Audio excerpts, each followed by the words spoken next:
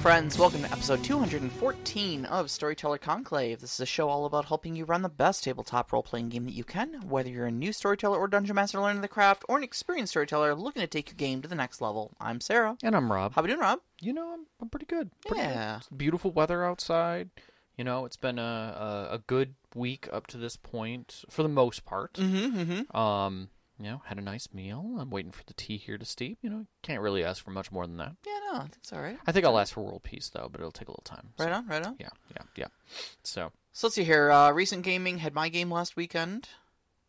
you did, you Yes. did. It went very well. Uh, I thought so. Yeah, Very narrative. very narrative game. Yeah, just a, a very talky game. I think there was like four die rolls the entire time.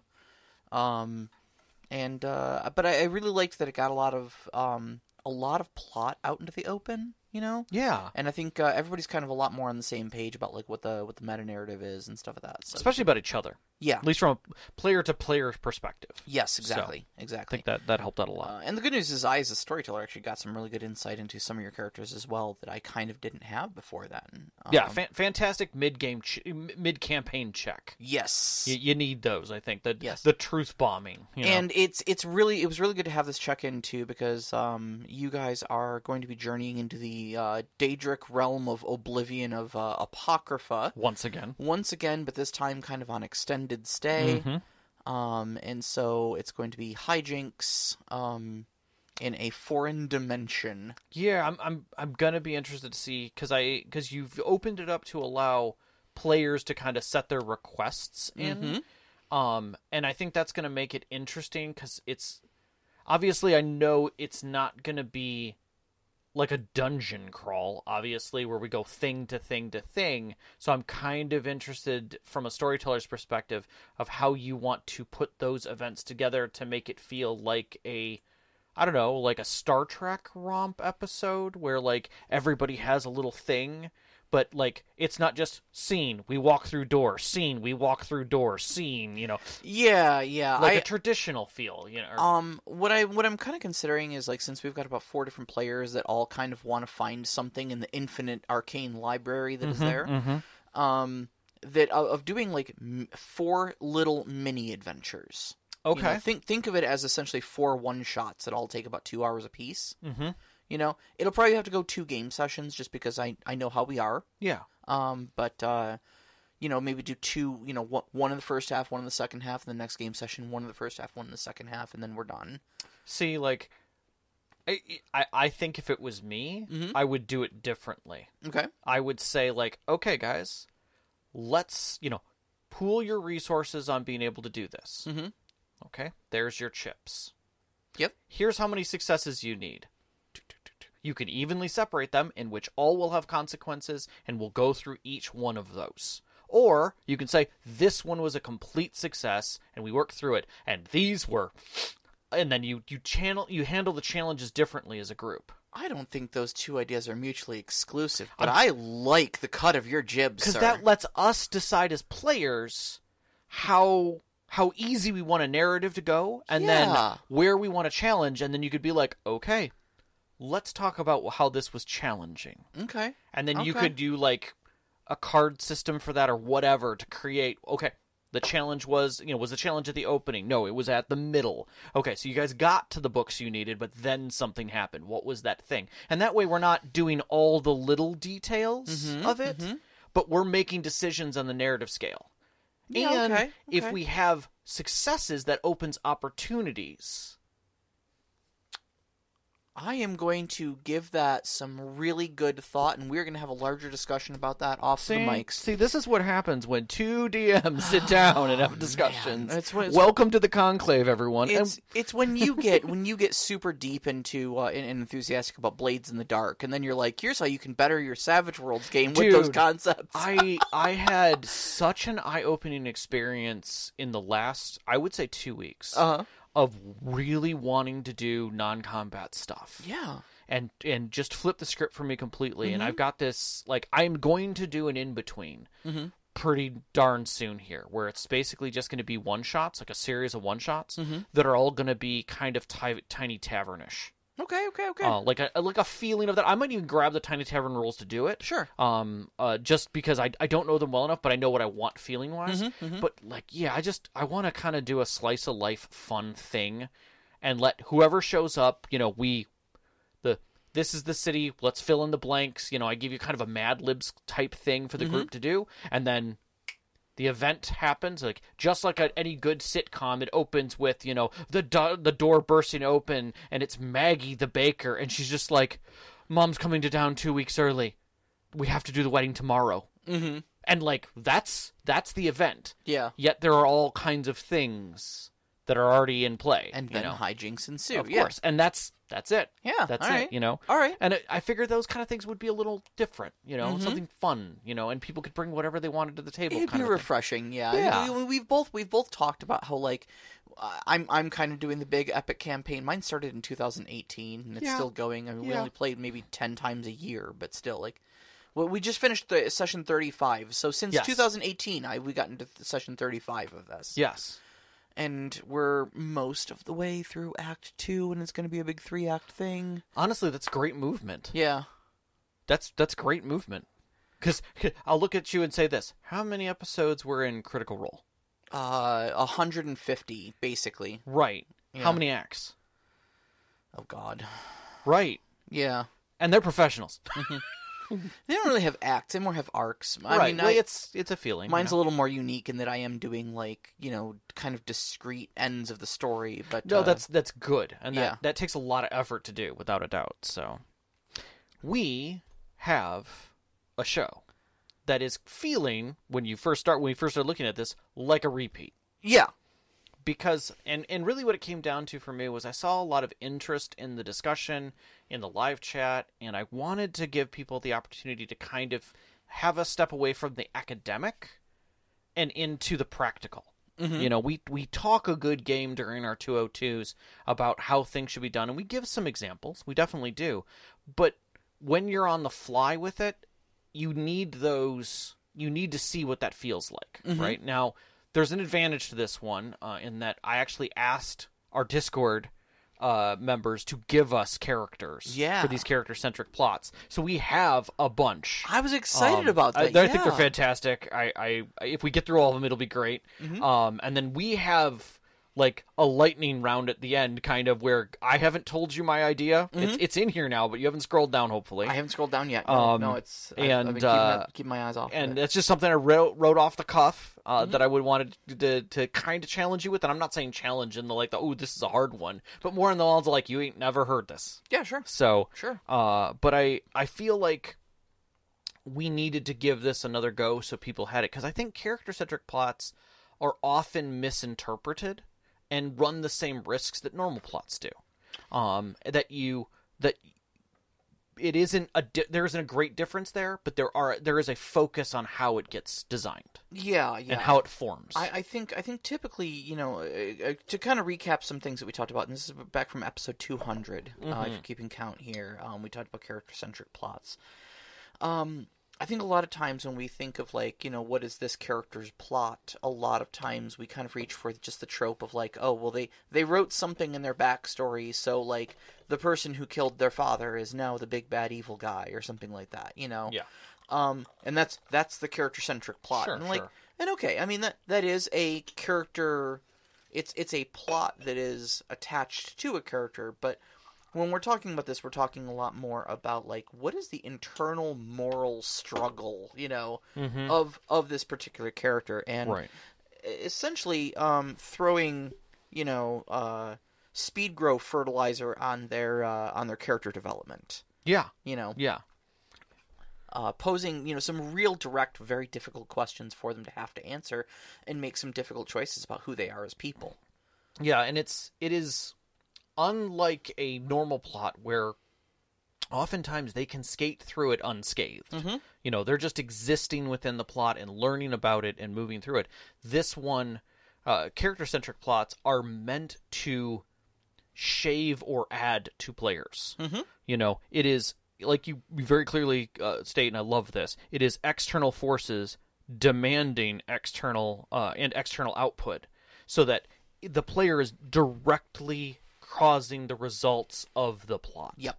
You know, this is not something that they can just be like, "Oh, I'm not interested in this." If they're not interested in it, then it's it dies. Mm-hmm. Like it literally just like, it fades away. And I, I, I, I dare say that if you do these plots right, they can't be not interested in them. Correct. Um, especially because uh, you can really do these subtle enough that they don't even notice. It's like you don't really have to hook them. Mm-hmm. You just make it a thing that's happening. Yeah. And they're just like, okay, I mean, I, whether I'm interested in this or not, it's occurring in the same room as me. You know? Yeah. So, Yeah, and it's you know some people say it's as bold as like I like the color green and that's green, so now I'm interested in that green thing. Like, oh, you made this thing green to make me interested in it. Five episodes later. yes, I did. Yes, I did. Mm-hmm. And while it was green, I also challenged your conception because actually it's blue. right, right. And not only that, but have you noticed that everything has fought that, that's fought you for the last twelve game sessions has been red? Yeah. Hmm. How are we feeling about this? Yeah. Exactly. Yes. Yeah, yeah. Um, but it is it is the proverbial angel and demons Yep. that you want. That you want, in many ways, a binary decision Mhm. in the process. You don't need it to be a large conceptual question, but you want. If you can make it binary, it makes it much easier for you as a storyteller to watch the flow and to put things in the right perspective. Yeah. It's it's kind of the uh, the you know the, the trolley problem sort of stuff. You know, you Yeah. want to you want to give them the the two crappy choices. You know, Mhm. and just see which ones they pick. And and ultimately, um, you know, when when you're doing this, you you you kind of do it without um without attachment to the because the goal is the character development. The goal is to make them make a choice, not to get a particular choice, and that's where it differs from a lot of other plots. Yeah, if You you, know? if you're looking at this with your mind frame of where it's going to end up, you're done. Yeah, You don't want that. You want something that is that is literally breadcrumbed until it is grabbed. Once it is grabbed, you're literally just setting forks for them to make decisions on and then reminders of what they've done. Yeah. Mirrors and forks. Yeah, exactly. So, like, step one, um, you want to talk to your players about this. 100%. 100%. Find out what your players want, Mhm. what they're looking for in their story. Ask them very pointed questions of, like, hey, how did your character feel about this NPC? How did you feel when X, Y, or Z event happened? Yeah, note You know? note in what Sara's saying there that you're not doing this at session 0 or session 1. Yeah, no, this is like this is I- a few in. it's, it's after session between session seven and eight on a weekend when Rob and I are having coffee, and I'm Yeah. like, hey, uh, just since we have a moment, Yeah. let me ask you about your character. You know, Mhm. you said this last game, and it you know got me thinking. How did you know what what exactly is your your greater thoughts on this? You Mhm. know, And let them go. and let them go, and and just just find this stuff out. Um, most players love talking about their characters. Dead At honest. some level.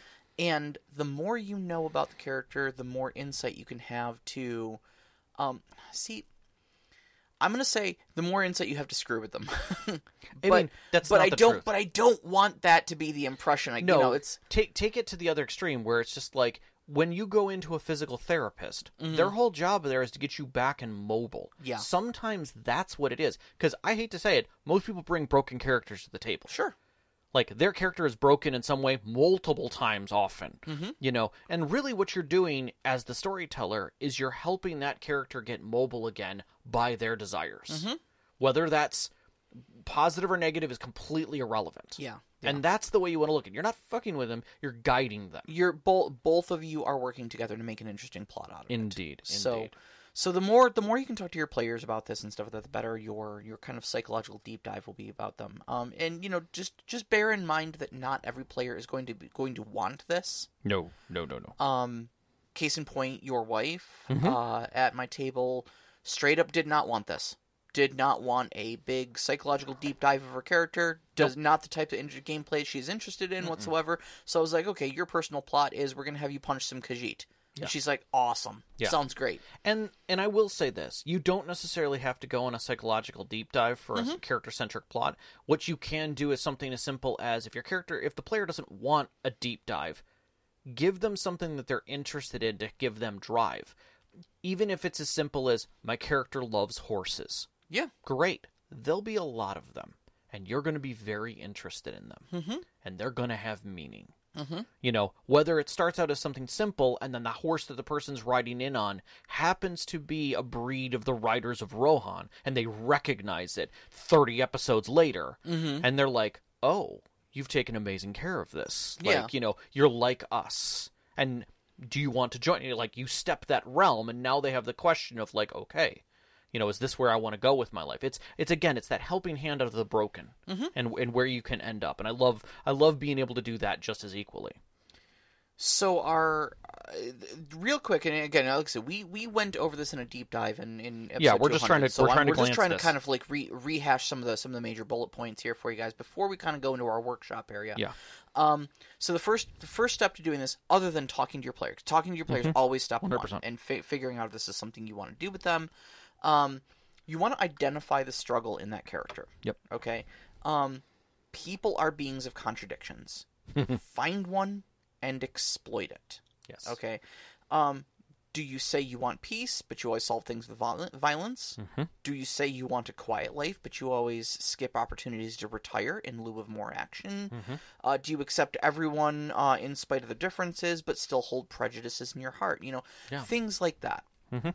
Um, or you know, uh, if they've got a stated goal, this is another one. Mm-hmm. Um, is find out how far they're willing to go to reach it. Yeah, I want power. I want to be a powerful mage. Mhm. Okay. Find the thing that stops them from being the powerful mage and pit those two things against each other Right. and see where it goes. And Yeah. we'll we'll show you examples of that in a moment. Yeah, we'll, Um, we'll walk actually through a few of those. Okay. Two, find or make forces that pit those two things against each other. Okay. Um, make both of them demand the character's attention. Yeah, it's not something they can avoid. Right. Um, and the thing is to make both choices attractive Mm-hmm. or equally crappy. Yeah. Um, like I said, this is this is essentially putting trolley problems in front of your players, and they don't need to be huge, earth-shattering things. They don't all need to be gigantic, critical moments. Nope. It's I kind of liken it to um, Rorschach tests. Mm-hmm. You know, Mhm. where sometimes. Like a Rorschach test is not difficult. Those are those ink blot tests Yep. that psychiatrists will use, where they'll hold up hold up a picture and it's just a random ink blot of like. Usually they put a bunch of paper, like random spots of ink. They fold the paper in half, Mhm. and it makes a weird design. And they hold it up to you and they say, "What do you see?" Mhm. All it's meant to do is kind of get the, your your your surface level associations. Mhm. And what that's supposed to do is basically just pick your surface thoughts. What are the things that Mhm. immediately spring to mind when when somebody asks you a question to kind of see where your preconceived notions are, to kind of see where your you know what's what's floating around the top of your consciousness. Yep. These are kind of the same thing. You Mhm. don't have to be these don't have to be epic, you know, focus moments. Sometimes it's just as simple of hey, uh, this person said this, but this other person said this. Oh, okay. Well, I don't like that other person, so I'm going to agree with the you know the, the first person. Okay, interesting. Yeah. interesting. We That's just it. we just saw a prejudice of yours. Yeah, doesn't You know? change anything major. Nothing obvious. But you made a choice. Mhm. But you made a choice between two things that were in some way related to your character and pulling you in opposite directions. Yep. And you just keep doing this. Mhm. Just keep putting those into the plot, putting those moments into the plot, and then later on it can start becoming kind of obvious of like why does it seem like every single time I have to choose between person A and person B? Well, I don't know. Maybe it's because you said you loved both of them. Yeah. But you can only choose one. Yeah, and on occasion, throw a mirror up by Yep. someone they trust. have someone tell them that's what they're doing. Yeah. It's the best at the end when you can get a villain, like, to look at them and say, We are not unalike. Uh huh. And they can't disagree because they have all of the ammo they're waiting. You know, they're like, I saw you do this.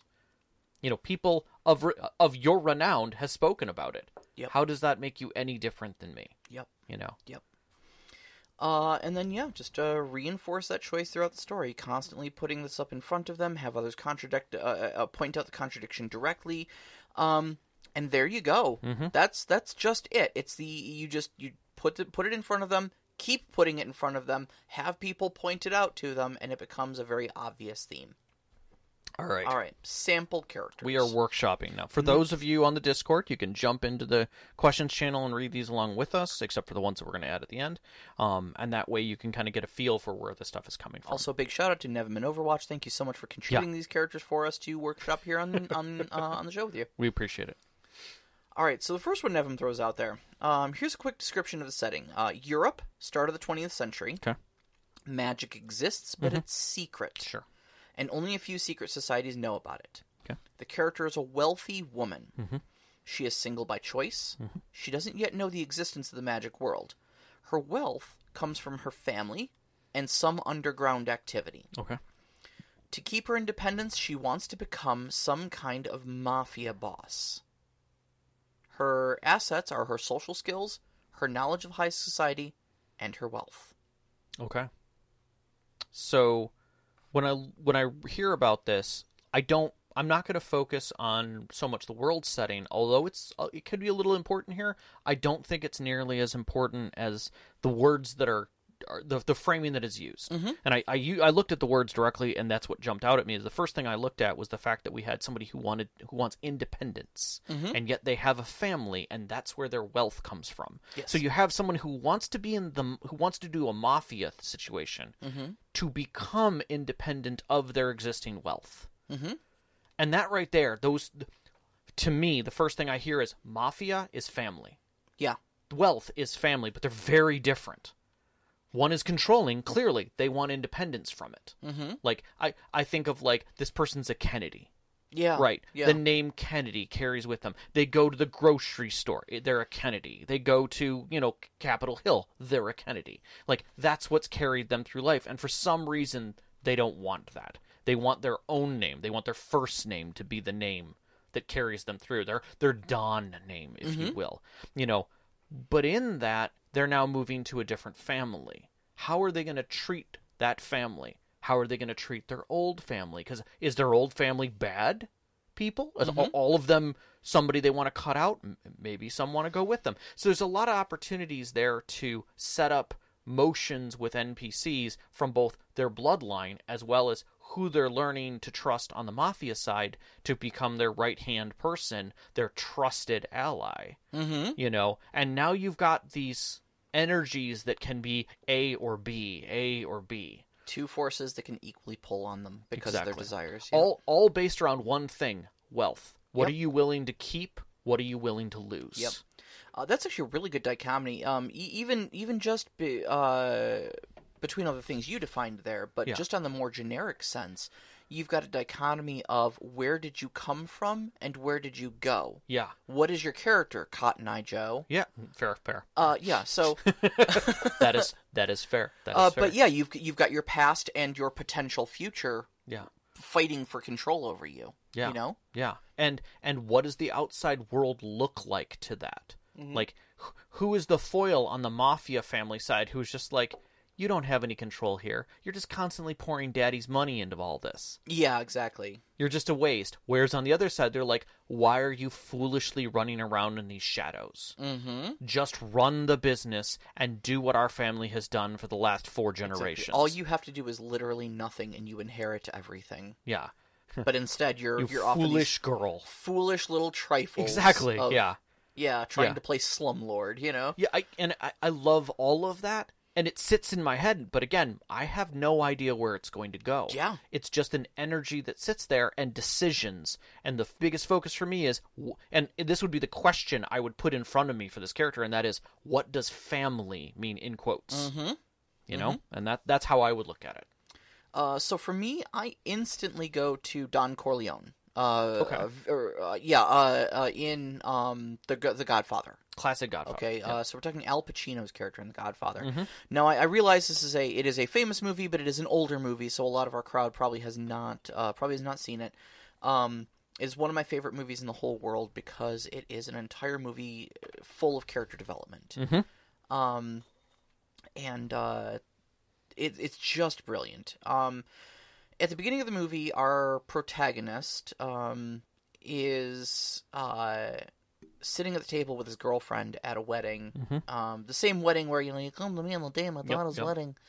Um, and he's explaining to uh, his girlfriend Kate that like yes they are a mafia family but like he's not part of it he Yeah. doesn't he doesn't get involved in the business and his and he's correct and his family respects that like there's there's a point shortly thereafter in that in that scene where um, they are discussing some quote unquote family business and they're like Michael you you may want to step outside we're going to talk business now Yeah, it's respectful. yeah, because we respect. Okay, you're. I mean, you're blood, but you're not part of the business. So, you step outside. You have your plausible deniability. We'll Mhm. talk about who we're gonna kill, and you know, you Yep. go on with your life happy. Um, there's a mob hit then where uh, Marlon Brando's character, his father, is uh, is is shot, put in the critically wounded in the hospital, and Michael Corleone needs to start making some difficult choices of what he will do to defend. See, it's not. He doesn't get into it because it's mafia stuff. He gets into it because someone shot his father. Right. It's a family obligation. And so his ruthless side is brought out. Yep. And then suddenly, what we have is a series of lines. Mm-hmm. Okay? And the question is constantly asked of Michael how far will you go to take control of this situation to ensure that your family isn't harmed by these other mafia families ever mm-hmm. again? Yep. And the movie keeps drawing new lines as Michael marches over them. Yep.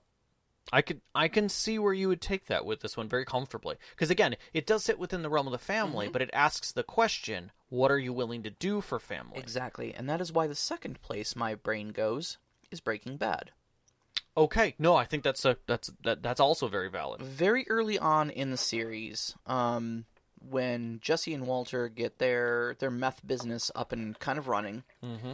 They realize that they have to they have some distribution problems. yeah okay And after going through a couple distributors that end disastrously, they decide they're just going to distribute it themselves. Yep. And then someone hits one of their drug dealers.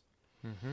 And Walter basically says, Well, we've got to respond to this. Mhm. And Jesse's like, What, we're just going to kill somebody? And he's like, Well, yeah, we have to. Mm-hmm. And in a way, he's right.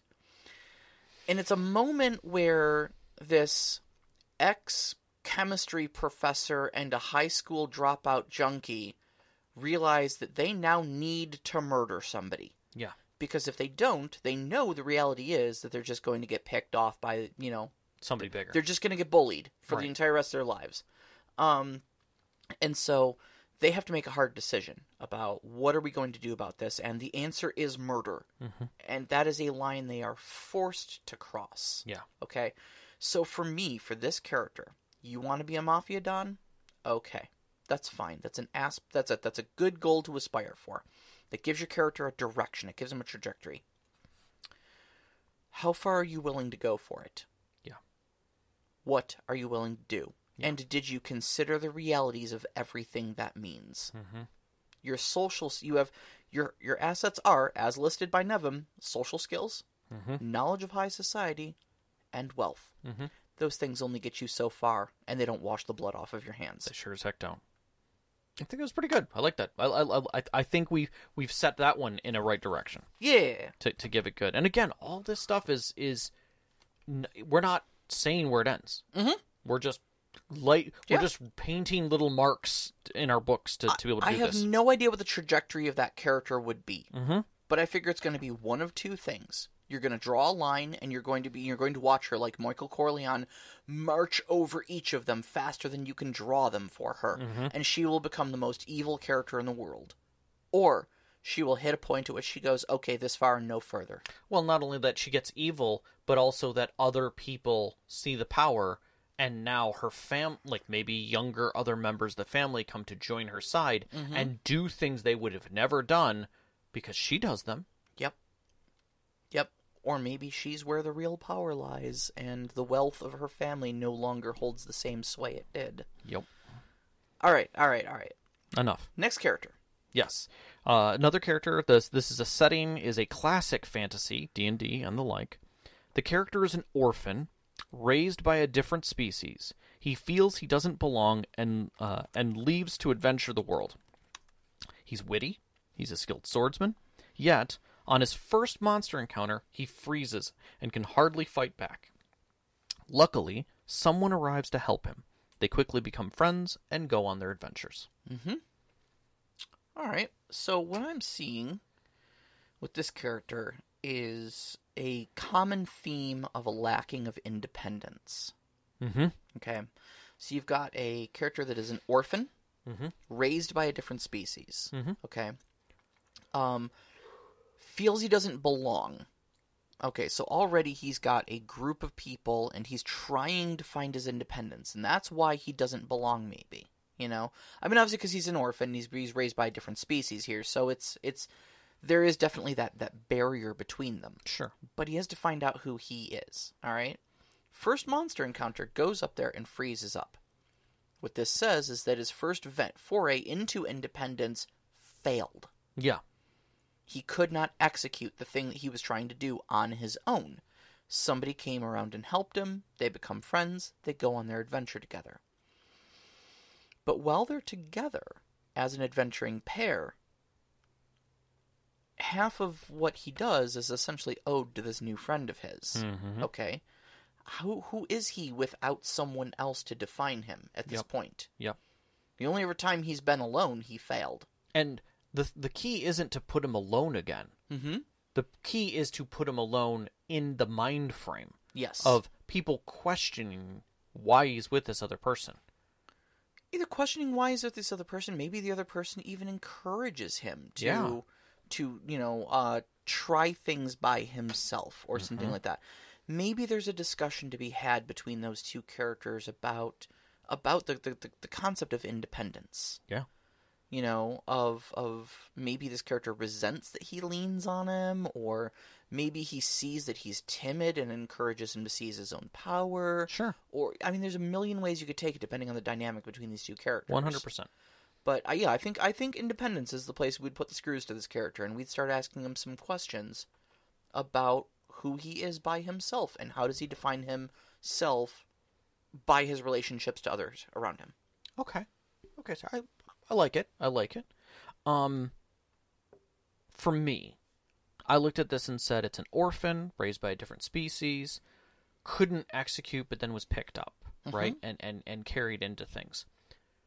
Something in this triggered a little bit more of a like hidden truth kind Okay. of thing going on here. Like what really happened at the inception point to cause that orphan, Mhm. right? And to cause the other thing. Like there's no knowledge of that there and, and maybe that player doesn't know fully the truth behind it. Mhm.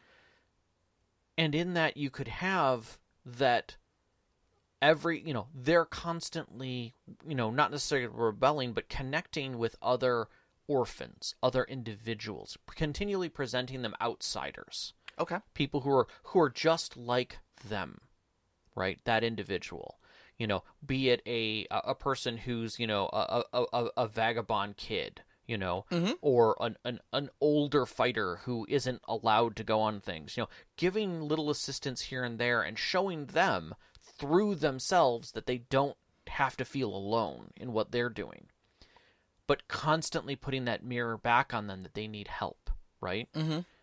the question then being is is that do you then break it to them that perhaps the reason why they're an orphan is because of something that they were meant to be like they were taken out they were the child of the enemy right Mm-hmm. and they were orphaned as a child you know because they were left to die effectively Mhm. you know kind of a thing they were too or, or worse yet they were too weak to join that strength brood you know kind of a thing Mhm. you know and then you now have that that other aspect of it is that they could have been something greater had they not had that not been taken from them Hmm. and so now you know now they're being presented back with that well you belong with us your blood is strong like ours that's why these people need you Mm-hmm. do you stay with them or do you start following this new path Which is more important, the destiny that uh, that you were purported to have, or the uh, the future you forge for yourself? Yep. Yep. Yeah. Okay. But again, it's a it's a very positive build up of them getting to know these people and making decisions and helping these underdogs just like themselves, only to find out that they're not an underdog. Uh huh. That the whole reason why they even survived that first monster attack was because of who they were. Yep. Right. Okay. Okay. So All right. Now, full disclosure from from here on, I haven't read any of these because I was just I was busy at work and I was busy Fantastic. before I got over here. So these are all blind to me from here on out. Awesome. All right, so let's try a cyberpunk setting. Okay. The character has been laid off by one big megacorporation. All his friends and family are still part of the megacorp, uh, and they are living in one of those mega buildings owned by the corporation. An They're called arcology. arcologies. Yes. Uh, the character is good at hacking system and dealing with cyberspace. Before being thrown out of the corporation, he has been able to save in a hideout some personal belongings, a deer, cat, or dog, Mm-hmm. and as a revenge, manage uh, Managed. oh, sorry. As as revenge, managed to snatch a symbolic object from the corporation. Well, now he still needs to find some money to continue living. Okay. Well, the obvious challenge on set is money there, clearly.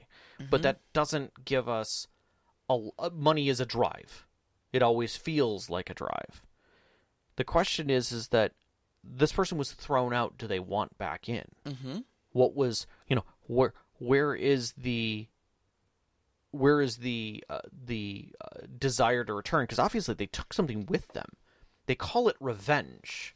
Revenge is taking something that's valuable and doing something with it versus just putting on your mantle. Is it revenge or is it a keepsake? You're darn right. Yep.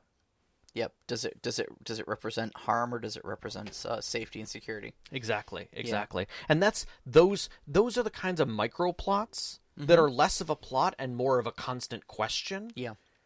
And, And- but but that, honestly, like that's that's exactly what I would do with it. That's exactly what I would do with it. The the obvious dichotomy we can pull on here Yep. is the safety and security and surety of the megacorp. And what's what's even juicier about this is that he's the only one that's been excised. Yeah. All of his family's still in still inside. Yeah. So you're not Okay. sure what happened there either. Exactly. And it doesn't really even matter. Um, and then you know, so I mean, definitely we would we would set up some runs against this particular corporation. See, I wouldn't do that at all. Mm. I would do the opposite. If they want to run against it, that's fine. But there's no repercussions that ever come from that megacorp. It's nothing negative. They're bad, don't get me wrong, but Oh no no no no no no! Hear me out. Oh, though. okay, okay, Hear okay. me out though. Okay, we definitely run against this corporation. Sure. Right. So first off, just running against the corporation already implies the question: Are you willing to hurt your old employer? okay, or family, quote unquote. yeah. Because, like I said, one of the big questions is: Is this a comfort or is this a revenge? right, exactly. Well, we can answer that question. Go punch them. Oh, you're not willing to punch them? Okay, I think I know what your keepsake is then. You Yeah. know, it's you didn't you didn't take it for revenge at all. You took it because you missed the place. Well, see, in Okay, my keep going. I'm sorry. But secondly, Secondly, secondly though, okay, have someone offer to let him back in, yeah, especially after he gets comfortable and established out in the real world. one hundred percent. Get him, get him some friends, get him some power, some influences, and then have someone say, "Hey, you know what? We messed up. You, you really are. You know, we we, we felt the loss of your of, of, of your of you know of your, your you being gone this whole time. Once you come back, we kept your old desk warm and everything for you. Yep. And just see if he'll turn his back on all of his friends and money and power to to come back. You know, and for me, I, as I was saying, like even if they do runs against it, there is no repercussions from them, and the question lingers in the air: Why? Like they don't sack their home, Right. Their their hideout. They never like the the they go as far as the megacorp boundaries, and then regular stat police go after them or whatever, right? But if it's another megacorp, they're all over them like cheap suit, right? Oh, it asks it asks so many questions when you don't. When you show restraint. Because is it their family holding things back and still keeping them safe? Are they a double agent? Yeah. And all your friends are like, why didn't they kill you? They should have killed you. Exactly, and there it digs them to go break back in and ask that question. Yep, yep. And you don't explain it. You you make them ask that question because it causes investment. Yep. Yes. Yep. And that in itself, that just putting a question mark in their mind and a mm-hmm. target on them that says, "What are you?" Mm-hmm. to these people is enough to make that its own plot. Yep. And then you just let it grow Yeah. like a fungus. You're not sure what it's going to be, but in the end, it's going to be something hideous. yeah, yeah, and and and you let those questions fester long enough, especially if you keep bringing the question up. yeah. um eventually whether you you don't even have to provide the answer for that your player will demand the answer and do something drastic to get that answer Oh God, yeah. yeah Yeah. And then you know, like I said, the whole time they're making choices. Yep. The whole time they're making choices, and the goal is not to get them to make any one particular No. choice, to go in any one particular No. direction. The goal is make them ask these questions so that they have to make the choices, and that makes character development Yes. happen. Yes. That that pushes the button of the question. Because now they're not just the hacker; they're the hacker that you know escaped from Renraku Technologies alive. Yeah. You know How? how? Yeah. What is up with that? Yep. Yep. Yeah. All right, so we got a sci-fi one here. Uh, the character has always lived on the same planet and never had the opportunity to go to space. They uh, are a pretty good mechanic. One day, a damaged spacecraft lands on the planet and they need some repairs. Luckily, the character is there to help the damaged ship. Once repaired, they have an opportunity to sneak on the spaceship and fly to somewhere unknown. Hmm. So, stowaway concept. Always lived on the same planet. Never had the opportunity to go to space. Okay, they're a good mechanic. A damaged spacecraft lands on the planet and needs some repair. The character's there to help. So the the thing that kicks in my head on this one is ownership. They fixed this craft. And they are somebody you you you make the bond between them and the ship. Mm-hmm. It is their new home that takes them to where they want to go. Okay. And you okay. make that hard to hang on to. You make it challenging for them. Yeah, okay. Okay. I could see it. Um hmm, the dichotomy I'm immediately seeing Sure. is the comfort of home versus the unknown of space. I'm again easy. Um and so Yeah. you've got a person typically like the the big the big drama of I've always wanted the thing Mm-hmm. is when you get the thing is it does it match your expectations? Right. Does it come with extra baggage you didn't account for? Last Starfighter. Yeah.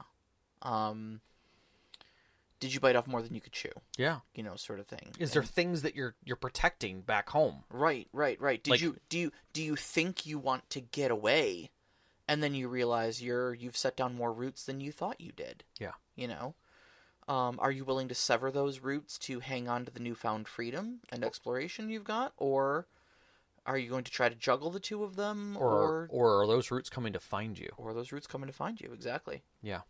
Yeah. Those are the kinds of things that always gets me is is like you you put out there that, you know, they may not have left the planet, Mhm. but maybe someone saw them go. Mhm. And now, you know, space police come asking. You know, they're just like, "Hey, we think you're st- we have a stowaway on the ship." Right? Yeah. So, you know, i- are they going to get pulled back or is it just a conversation? Yeah. You know, kind of a thing. Or, or you know, maybe you're the head of a major trade company and you just up and disappear one day. And then people ask questions. then people start asking questions. Yeah. no. I, I, I, the the roots one is a good one, definitely. Yeah, I, I just see like the Kaylee situation of Firefly, mm-hmm. where like this is mine, this is my child now. You know, don't talk badly to it, kind of a thing. Sure, but what? Where, where's the dichotomy though? The dichotomy is How do you pull that character in two directions at that point?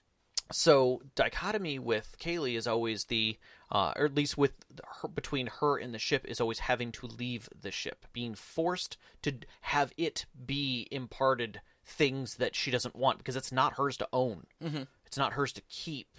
It's going to have things happen to it, and to be there, she has to accept the adventures that it goes on.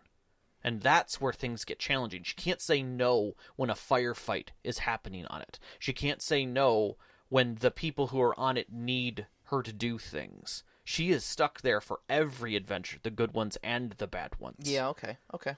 So it's a bit like a mother with a child. Then you know Yeah. you have to accept that child's freedom and independence, but you also have to be a mother to that child. Right. And so for in that it creates its own story around that child. Okay. Yeah. Okay. Yeah. I You know, it. others may want to sell the ship, but no. No, this is mine. I Mhm. I peed on it, you know. this, this is now mine. I licked it. It's fine. That's right. Literally, there's blood of mine in that engine component, you know. so, Uh, all right, the setting is a modern, almost or almost modern one. Uh, there's some element of horror to it. okay. I'm leaning towards games like Call of Cthulhu, um, World of Darkness, uh, Urban Shadows, City of Mist, that sort of thing. Sure. Okay, so contemporary fantasy. Sure. Um, Mr. Asher used to work for the state police, but one day he has seen a strange felony or murder hinting to the strangeness of the world. He could not stay in the police force. He had to know. The truth is out there. the weird key, uh, acc- uh, uh, accident keeps haunting him in his dreams. He still has a family to take care. Uh, he could go and spend all of his resources on his hunt. As a former policeman, he opens a private eye agency, hoping to uh, Hoping his destiny, pushing his destiny, will let him.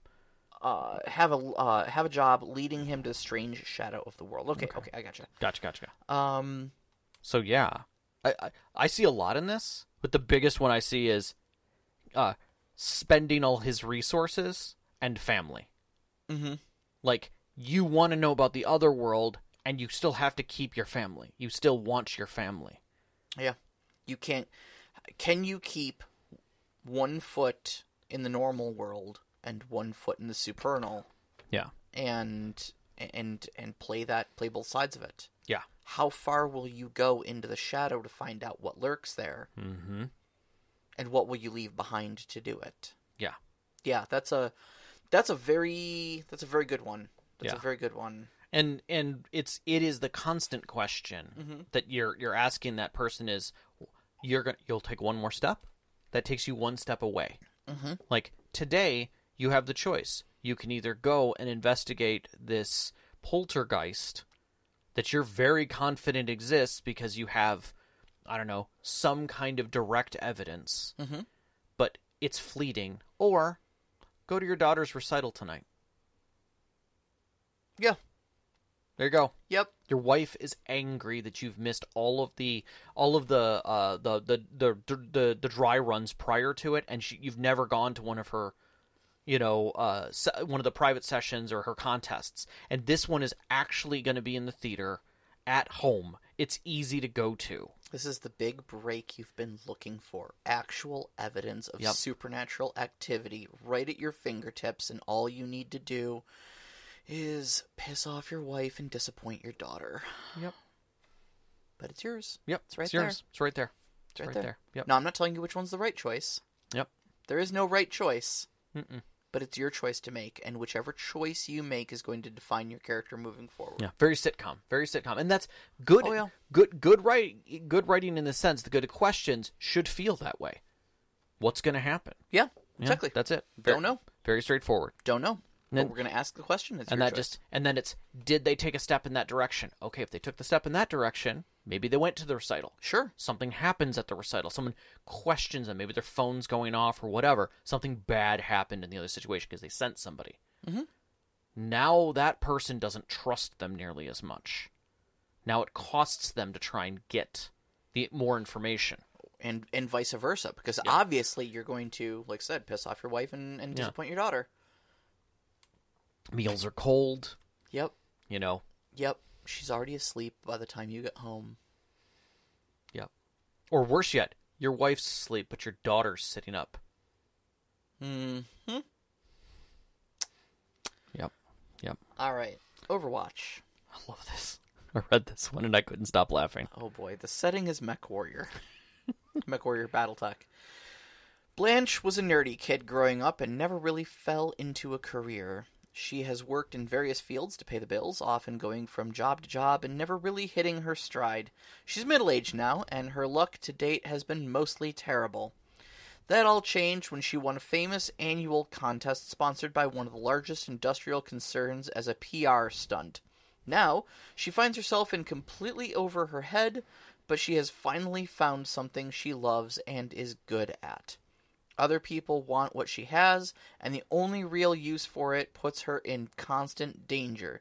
She's starting to have second thoughts about her good fortune. Why oh why did she have to win that battle mech? I love it. First off, what battle mech? Exactly. You know, that is a solid is question. Question number one: That What is- does she? What does she pilot? that is that is a solid question. I tend to agree with you. Um, I think I think for me in this one is that she loves it and she's good at it. Yeah, Right? So the question doesn't necessarily lean into does she stay a battle a, a mech warrior, right? That's that's a given. that's a given. But the question is, does she go to war Mm-hmm. or does she go to glory? Is it personal Yeah. Okay. Okay. or is she doing it for a cause? Is is it- is it duty? Is it duty or is it yeah? Does she do it for others or does she do it for herself? Is it is it her personal glory or is it her duty to whoever she's with? I mean, or- it's not that much unlike the previous one. yeah. in, in a lot of ways and again it's that it's that simple dichotomy of of are you doing this because you have a personal gain that you want to keep going that that internal drive or are you willing to set that to the side for something else not necessarily greater but something else I'm I'm kind of reaching back a little bit to the same sort of dichotomy we had with the uh, the mafia woman. yeah okay Um, and so we've got a question here of like, okay, you you're a, you're a middle aged woman Mhm. who's never really amounted to much until you sat in that battle mech, and then find out that, that you're that being a mech jock is what you know what you were meant to do, mm-hmm. and that's a great thing. Like you're never too young to find your purpose in life. no But as a middle aged woman, you've got a lot of preconceived notions built up about how the world works. You are no longer bright eyed and bushy tailed. You are you're kind of set in your ways at Yeah. this point. What preconceived notions are you bringing out into the greater galaxy with you as you ride around in that mech now and fight in whatever skirmishes it, it takes you to, you know? right. Um say you join up with a mech mech unit you know? Are you going to agree, uh, or a, like a mercenary unit? Are you going to agree with you know the contracts they take? Are you going to agree with their with their methods? Are you just a you know good old grassroots girl next door who mm-hmm. just wants to pilot a big stompy robot and maybe shoot some pew pew lasers at people? And oh god the horrors of war are now a reality right people are dead Yeah. you know or and, and this is for me on the same side of that is like if she goes through the arena kind of thing like maybe it's Solaris 7? so yeah Solaris Yeah. 7 kind of thing where maybe it's small unit fighting Sure. in Solaris which is totally a thing Yep. you know you know she starts seeing she sees all these young people you know who have dreams and aspirations and are good but she's just better and she's wrecking them Mhm. like they're angry at her but in truth it's all fear this is all they have. She had a life before this. You know she Mhm. had a family maybe. Mhm. like you had jobs career things you did. This is all these people know. And you literally just kicked them out of this whole championship with like two shots and a little torso twisting. Yeah yeah yeah yeah. You know are you gonna gloat over that? Because they they ru- wanted to rub it in your face that they were gonna get you yeah. You know kind of a thing? How do you how do you reconcile your you know your your newfound uh, uh, expertise, I suppose, with honestly your civility towards your fel- your fellow man? You Yeah. know, yeah, no, Yeah. it's there's a lot of little things there you could go to Yeah, there's a lot of little things in there, and what I think what I like most about this one is that it's it's subtle. Yeah. you know, like you're still doing the thing. yeah whatever it is You know, this isn't. You're still a mech warrior. You're like Mhm. not. Nothing's going to change that. It's really all about the emotional baggage you carry with you into the situations. You know, Mhm. how does your past influence your future? Mhm. So Yep. that's a that's a common one that keeps coming up. it does That's an easy dichotomy to reach for. Is how does your past influence your future? Yeah, and it's it, it's also not something that says good or evil Yeah, at all. yeah, You're not you're not setting that because that sometimes that feels like a cop out that's that that can be walked around or tiptoed. Well, this really is an evil, and it's none of that matters. Well, you know, I mean, like, I, I think a lot of us get that from video games, though. Oh, You know, 100%. I mean, like, look at look at Mass Effect. Oh God, You know, is are you going to do the Paragon thing or are you going to do the Renegade thing? Well, no, I'm going to punch the Krogan. Oh, you punched somebody. That was evil. No, a he's a Krogan. Krogan. That's all he respects. That's how they talk. yeah, If somebody doesn't get punched, nothing got worked out. You know, that's fair. That's they fair. don't they don't decide on pizza toppings unless somebody has a black eye over it. Yep, that's true. That's you know, true. so yes, I punched the Krogan. I should get Paragon points for that. I, I always go back to Riker on the uh, Klingon Bird of Prey Mm-hmm. as the second. Like, you're gonna listen to me now after kicking the one guy butt right, in front of the commander? exactly, and the and Klingons are like, oh, w- No, well, well well played, played. good. No, hey, no, you're you're good. Yeah, you, you technically could have killed him if you wanted to, and we wouldn't even question it. It's you know? it's your right. He, You know. you, you bested him in combat. Absolutely. no. Do you want to? Do you I want to? Ki- I've got a bat'leth. Like, do you want to? Okay, He's like- okay. No, I respect that. It's, it's like no, I because I don't want to do his job. if he's dead, now I've got to do my job and his. Best answer. I mean, that's that's the truth. So. Best answer. Yeah. But yeah, no, like don't don't like that's. But I think it's great advice. Don't don't immediately reach for the what's the good option and what's the bad option because Yeah. you know find two neutral options. You really genuinely don't want to be to have to care which one they choose. Not at all. The important part is making them make a choice, which leads to character development. And then later on, show them that choice when they want to possibly unmake it. Yeah, yeah well, well, Or so- so- have. sometimes, sometimes the next thing is showing them just how many times they've chosen A over B or B Mm-hmm. over A, and just have a character, you know, have a have an NPC later on go, wow, you've been really leaning into that B choice, haven't you? And have them go, what? What do you mean? Yeah. Well, you did this, and you did this, and you did this, and you did this, and when this came up, you immediately reached for that. Like, Yeah. oh, oh, I'm that guy, aren't I? Yes, you are. You've I s- always been that guy. Immediately go to Blanche, you know, walking through a city, and they're like, you know, it's a parade, you know, with her her unit, right? And she's, you know, the mech's walking on its own. It's in auto mode, and she's like, you know, waving, and then she sees the digital billboard on one of the buildings that shows the battle of her just gunning down troops and vehicles and it's all superposed of like her and then a, something blowing up and then her and then her mech and then something blowing up and she's like oh my god i'm the killer here Yeah. like and they're all cheering for her like you saved our planet yay no i i just murdered 45 mech warriors and 150 troops Yeah. of an of an accounting force and like and, and boss is just like because it was your contract Mm-hmm. You did your duty. That makes you a good mech warrior. yeah Yeah. one of the best see There you go. Yeah. Mm, Yeah. Love it. yep God, all I right love this stuff. All right. You want to go first, me? I haven't. I haven't read yours. I see. I see that it is there on the show sheet. My eyes have done naught but sk- like skim that it is there. i would say go ahead All right. read it off So Rob's character setting is modern, post mass outbreak, rebirth and rebuild.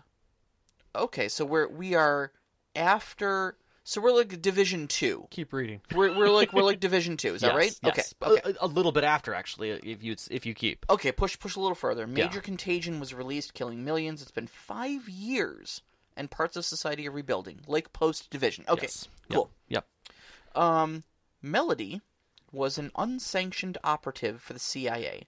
She sustained uh, in private after serving in several conflicts for the Army and Special Forces. Skilled in close combat and surveillance, she uh, she expected and wanted to return to action, but the alert never came through.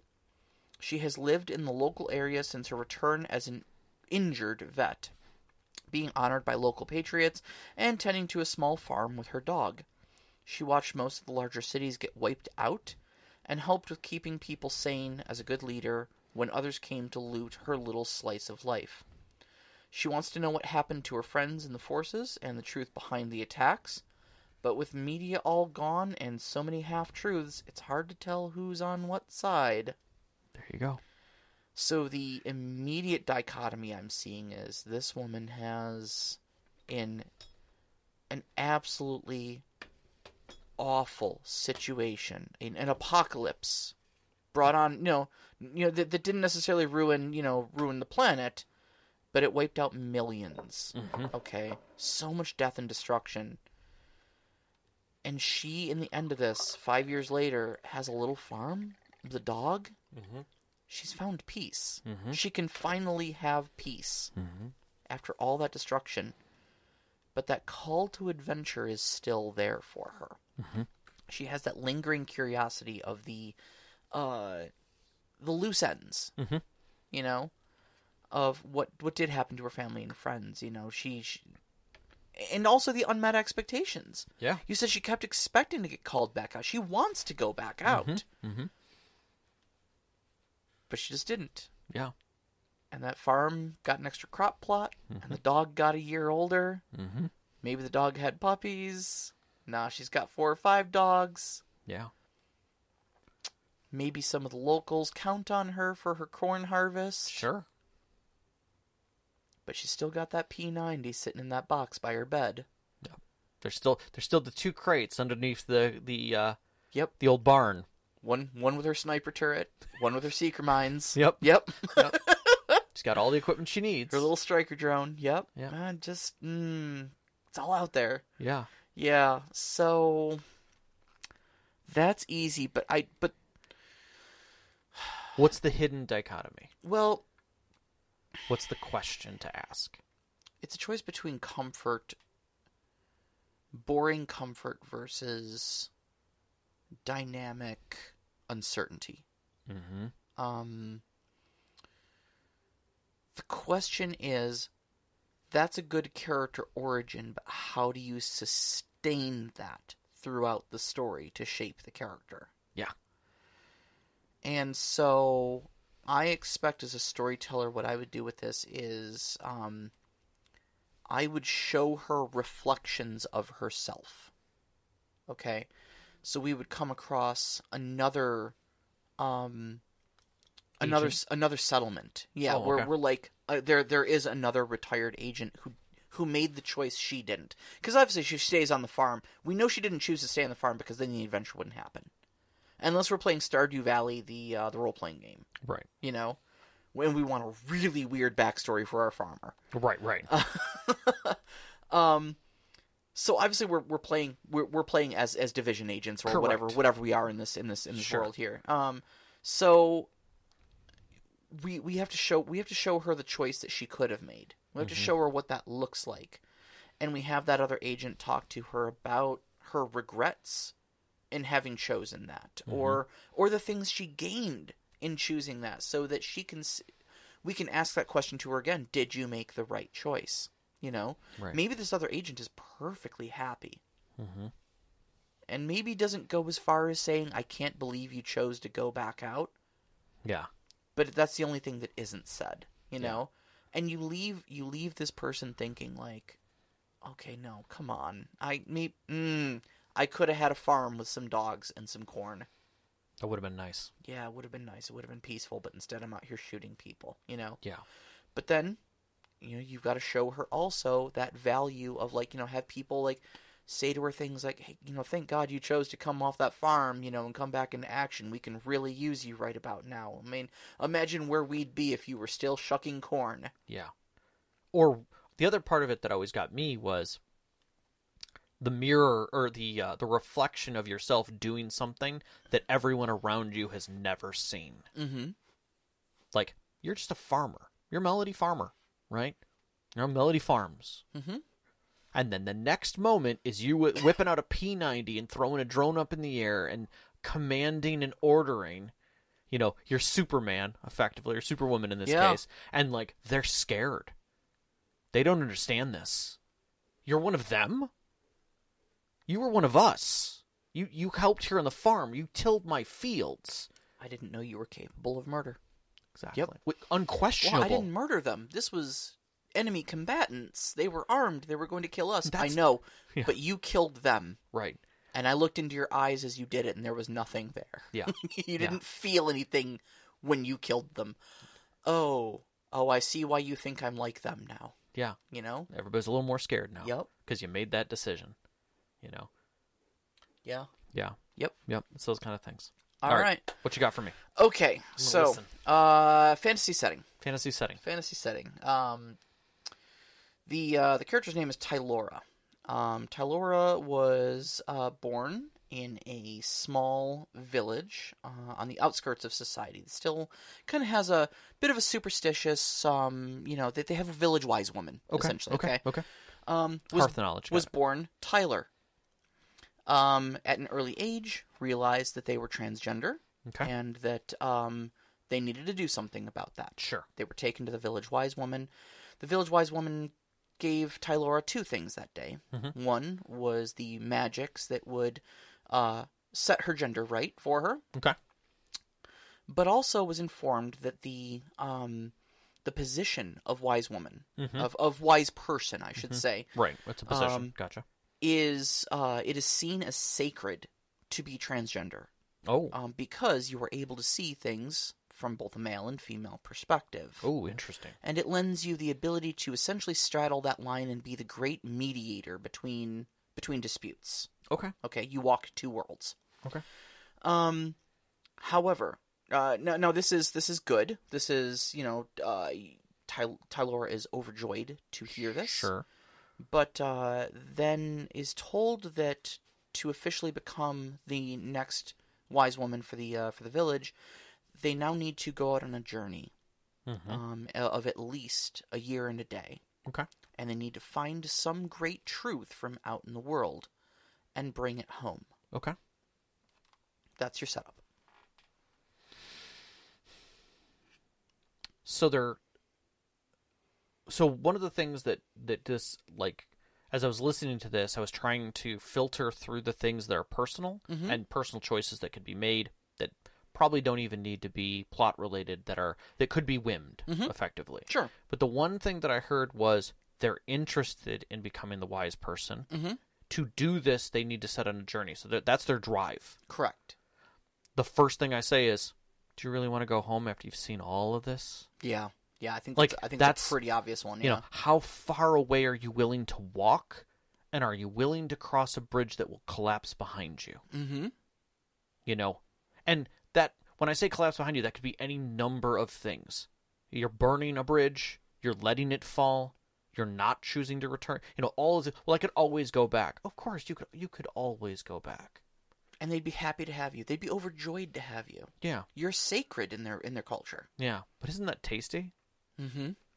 You know that that kind of thing. You know, t- try the strawberries.